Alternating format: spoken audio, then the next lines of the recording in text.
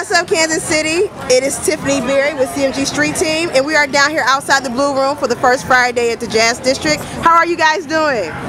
Great. That's great. So you all are some great fixtures in Kansas City. Can you all tell us your names and what it is that you have set here in Kansas City? That was that was an hour and a half. My name's Alan. This first time I saw him. I'm Yolanda. At least I'm. And are you guys enjoying yourselves down here? Thank you, it's man. fabulous. A great crowd. People are engaged. Great food. I'm loving it. Absolutely. And I see that you have a battery tour shirt on. Yeah. We love the battery tour.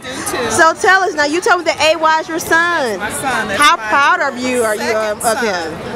How proud of you are um, of you are you uh, um, AY? Oh, we think he's doing a fabulous job. He's a hard worker. He is.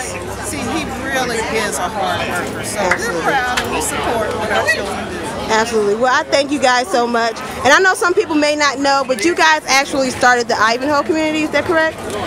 We uh, work to uh, restart the neighborhood. I got you. Absolutely. Okay. the early 90s. Absolutely. Well, I thank you guys so much. I hope you all enjoy your day.